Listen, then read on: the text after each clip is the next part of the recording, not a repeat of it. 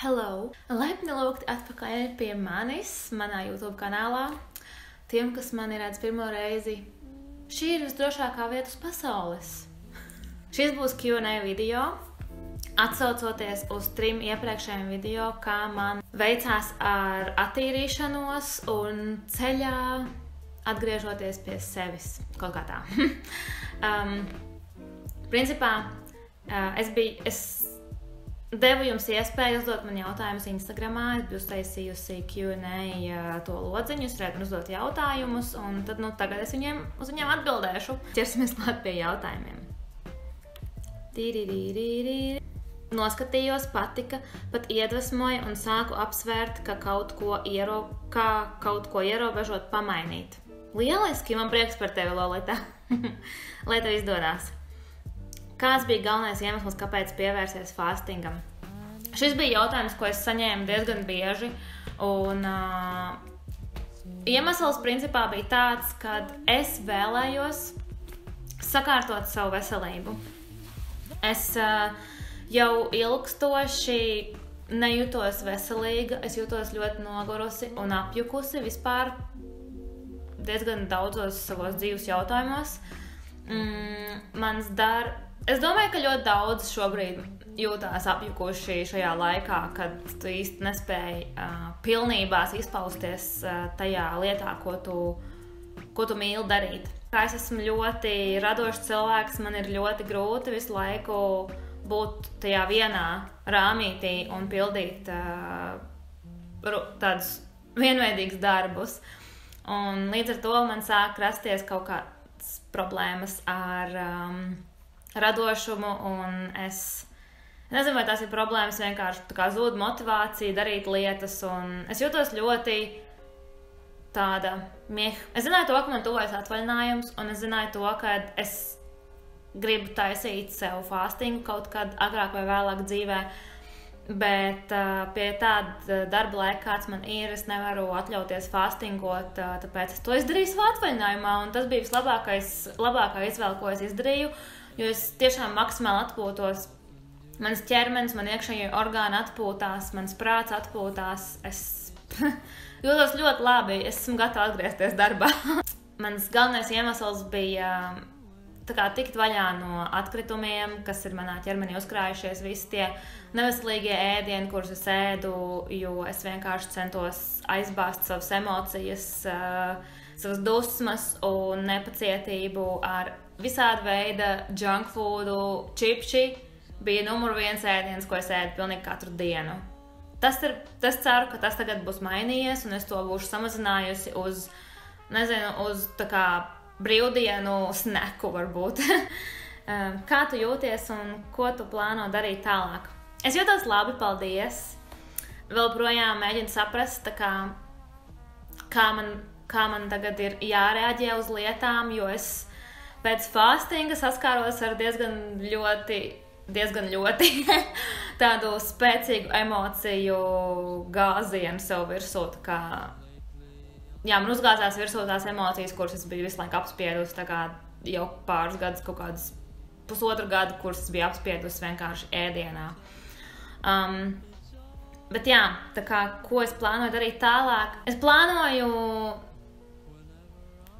nedarīt sev pāri, un censties likt priekšā tās emocijas vienkārši sev priekšā un nostāties viņai acīm pret aci un vienkārši tikt galā ar to, nevis apēst vienkārši kaut ko pa virsmu, jo man nav ko darīt, vai es negribu par to domāt tagad, vai kaut kas tāds. Un um, bišķiņ būs kaut kas jāpamaina uh, ēdienu izvēlēs un savā domāšanas veidā bišķiņ jāievieš kaut kādas robežas, jo, nu, um, man liekas, ka kaut kādi anger issues, kas man ir, vienkārši nepalīdz man. vienkārši man nepalīdz. Liek justies sliktāk tikai, man liekas. Galvenais, es mēģināšu sev nepārmest, ja arī man sanāks apēst kaut ko tādu, ko man nevajadzēja apēst, varbūt, bet man ļoti gribējās. Tāpēc, jā. Nu, es nezinu, kā man tas viss izvērtīsies. Es centīšos go with the flow un vienkārši skatīšos, kā es jūtos saistībā ar konkrētu kaut kādu ēdienu vai situācijām. Un Mēģināšu mācīties no jauna sevi saprast. Vai ievērojot ūdens sulu kūru, nebija vēlme pēc silta ēdiena? Īstenībā nē, man vēlme vairāk bija, kas ir ļoti dīvaini.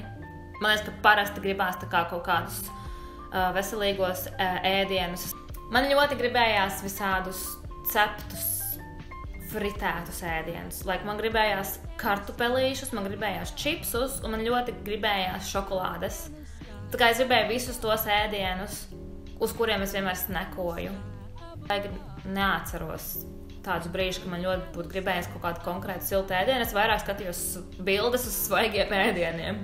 Bet man liekas, ka tas nav slikti fantāzēt, jo, ja tu sāc fantāzēt par veselīgiem ēdieniem un skaties un iegūsti informāciju par veselīgu ēdienu, tad man liekas, ka tas ir labāk nekā sapņot par junk food, ko darījies. Kādu tu veido, ko maini savu ikdienu pēc attīrīšanās? Kāda es veidoju savu ikdienu pēc attīrīšanās? Šobrīd Uh, es joprojām priecājos par to, ka mans atvaļinājums ir arī pēc fastinga, un es varu reāli adaptēties tagad savam kuģim. Jā, otrādi - mans kuģis, manam ēdienam.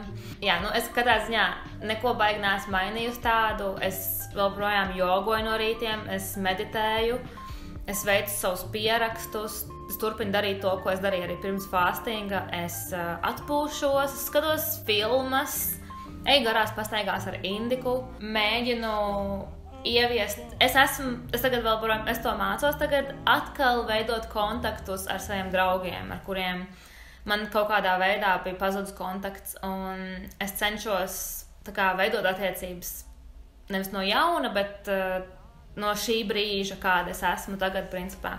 Ko tu ieteiktu ēst nākamā dienā pēc fastinga, kad tu lauzi sul, kaut kādu attīrīšanos, jeb kūri, kas ir uz ūdens bāzes vai sulu, sulu bāzes, es ieteiktu ēst kaut ko nenormāli vieglu un sulīgu. Kā piemēram, tas būtu arbūs vai melona vai mango manā gadījumā.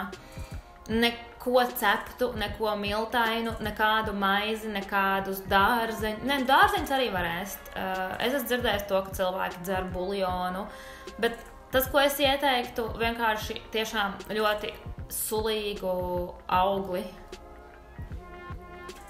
Nepārāk lielā porcijā, tiešām mazu porciju, lai tu saprastu, lai tavs kuģis vienkārši viņam nav kaut kāds šoks par to, ka viņam tagad nenormāli daudz ēdienas ir jāapstrādā. Jo tici man, tik daudz, cik tu ēdi pirms fastinga, tu nevarēsi ēst pēc fastinga. Vai kafiju var dzert fastinga laikā, es runāju par džūsu. Uh, nē, es neieteiktu vispār lietot uh, kofeīnu. Uh, es piecas dienas pirms fastinga es pārtraucu dzert kafiju un uh, melno tēju un zaļo tēju. Uh, pirms sulu kūras. Uh, es esmu lasījusi rakstus, kur var dzert melnu kafiju un uh, zaļo vai melno tēju, ka tu dzer ūdeni tīri, lai tev būtu kaut kāds uh, būsts, bet tas nav obligāti, tu vari arī nedzert. Bet noteikti, ja tu dzer sulas, neiesaka dzert kafiju, jo tad visi tie vitamīni vienkārši izskalosies ārā no tava organisma. Vai tu atkārtosi fasting kūri? Yes, absolūti, es to darīšu. Es um, plānoju to darīt tad, kad es jutīšu to, ka man to vajag darīt. Bet, hei, baby girl, tu gribi pateikt čau kādam? Look at her! Vai tu nomet arī svaru šo sešu dienu laikā? Es nezinu, es ne, man nav svari, bet es uz to arī baigi uh, nekoncentrējos. Es arī pirms fastinga neuzkāpu uz svariem. Man nav jausmas, cik es svēru. Pirms tam es zinu to, ka Pēdējā reizē, kad es svēros, es biju tuvu 60 kg. Man nav nejausmas, vai es nokritos svarā. Iespējams, ka jā. Es pieņemu, ka jā, tas būtu tikai loģiski. Man gan nav nejausmas, cik daudz. Iespējams, nākamo reizi, kad es taisīšu tādu fastingu, es uh, piefiksēšu to, vai mainās mans svars kaut kādā veidā. Bet es domāju, ka mainījās mans svars, bet man diemžēl nav nejausmas, cik. Kas tavuprāt ir lielākais iegūms no fastinga? Mā, mācīties pacietību. Es esmu diezgan nepacietīgs cilvēks, bet es varu būt pacietīgs kaut kādos konkrētos brīžos. Bet um, es totāli iemācījos pacietību. Jo, kam on, es sešas dienas nēdēju. Tas ir vispār kaut kāds pārsteigums man, jo ēdiens ir mana dzīve. hello, es varētu apprecēties ar ēdienu. Mm, tie, kas man zina personīgi, zina to, ka man patīk ēst. Hai! Es varētu iestāties anonīmajā ēšanas klubiņā. Es iemācījos par sevi ļoti daudz, ko es iemācījos būt mierīga. Katrā ziņā es iemācījos tiešām saglabāt mieru brīžos, kad uh, Beāta pirms, kura būtu Beata pirms fastinga, bijusi vienkārši stresā un sākusi eksplozijas, vienkārši kaut kādu viesuli. Bet tas bija ļoti mierīgi.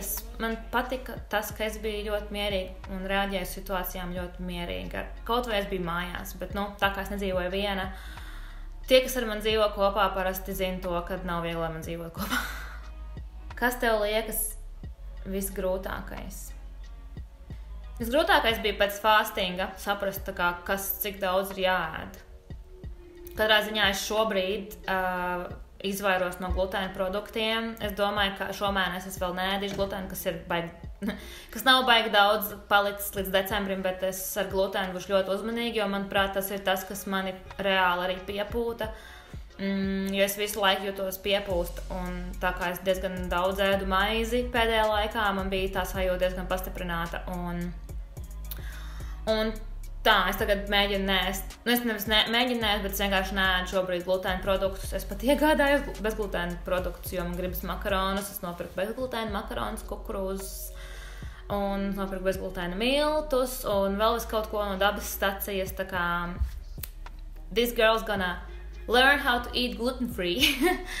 Bet uh, es negribu iet galējībās un tagad būt tas cilvēks, kurš nē, to, to, to un nē, šito, šito, šito. Un tā kā es skatīšos, kā es jutīšos vienkārši.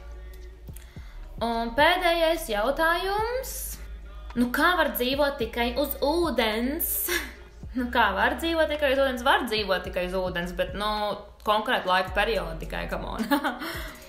Man pašai šķiet interesanti, bet kaut kā grūti. Um, Nu, vispār ir tā, Roberta, kad mēs esam pieraduši, ka mums ēdiens ir vienas rokas stiepiena attālumā. Bet, uh, principā, mums ir vajadzīgs tik daudz ēdienas un ūdens, uh, lai vienkārši izdzīvotu. Mums nav vajadzīgs ēdiens, lai apmierinātu savas emocijas un, un kaut kādas iekāres. Bet uh, ēdiens, principā, ir kaut kas tāds, kas vienkārši tur mūs pie dzīvības un dod mums enerģiju. Mēs vienkārši esam kaut kā sagrozījuši to savu dzīvi tā, ka ēdiens, ka mūsu dzīve grozās ap ēdienu. Uh, bet vajadzētu būt tā, ka vienkārši ēdiens ir tad, kad viņš tiešām ir vajadzīgs. Ok, es ļoti priecājos par to, kādā laikmetā mēs dzīvojam. Mums nav jādomā par to, oh, vai es dabūšu šonadēļ ēst bez maz vai jā. Es ļoti priecājos par to, ka uh, mums ēdiens tiešām ir tik ļoti viegli pieejams, bet mēs to ļoti bieži nenovērtējam. Un tāpēc ūdens īstenībā cilvēki pat var mēnesi dzert tikai ūdeni. Ir pat speciāls rehabilitācija, ir pat speciāli rehabilitācijas centri, kur cilvēki uh, tiek uh, vadīti cauri šim ūdens fastingam, lai viņi varētu atvesaļoties no kaut kādiem uh, uh, iekaisumiem orgānos vai nu, visādi. Ir ļoti daudz, daudz dažādu zinātnisku pētījumu par to. Es, protams, par to nevēlos iedziļināties, jo es neesmu šeit atnākusi lekciju lasīt. Bet, ja tiešām ja jums tas interesē, es iesaku papētīt visu to dziļāk, ļoti daudz video visādi par uh, to, kā cilvēki dzer ūdeni. Es iesaku noskatīties, ir Netflixā šis seriāls Unwell, un tur ir tieši par ūdens fastingu sērija viena. Varat atrast to. Fat, Sick and Nearly Dead. Tā filma ir dokumentālā filma ļoti labi parāda par sulu kūri, kā viens vīrietis uh, cenšas sevi izglābt ar sulu kūri 60 dienu garumā. Iesaku noskatīties to dokumentālo filmu. Viņa gan ir diezgan paveca. Un Vienkārši, ja tev ir apņēmība un motivācija un iemesls, kāpēc to darīt, tad tev arī izdosies ar to tikt galā. Jā. Tā kā es ceru, ka es atbildēju visiem jūsu jautājumiem. Es ceru, ka jums bija interesanti skatīties šo video, un ja jūs neesat redzējuši iepriekšējos tos trīs video, kur es fāstoju un dalos ar savu pieredzi, lūdzu, noskatieties tos, jo viņi tiešām ir ļoti forši video. Man pašai liels gandarījums par to, ka es uzfilmēju tos video un diezgan patīkami pārsteigta par to, kā es viņus arī esmu meditojusi. Es neesmu tik sen taisījusi video uh, un runājusies ar jums un dalījusies ar, ar savu pieredzi, kur ir vērtīga arī varbūt. Tā kā, jā, es pat esmu izveidojis atsevišķu atskaņošanas sarakstu, kur visi tie video arī parādīsies laika pa laikam. Protams, nesaku to, ka tagad man būs tikai un vienīgi veselīgie video. Uh, negaidiet no manis uh, nekādus augstus uh, standartus, jā. negaidiet no manis, uh, ne, Necentieties no manis sagaidīt kaut ko huge tagad. Es netaisīšu katru nedēļu video, kā man iet ar manu pēcfastinga periodu vai ko es esmu iegūmis. Vienkārši, ja jūs gribat vairāk par mani, man, ja jūs gribat pasakot man vairāk līdzi, jūs varat droši piesakot man Instagram, jo tur es katru dienu ar kaut ko dalos.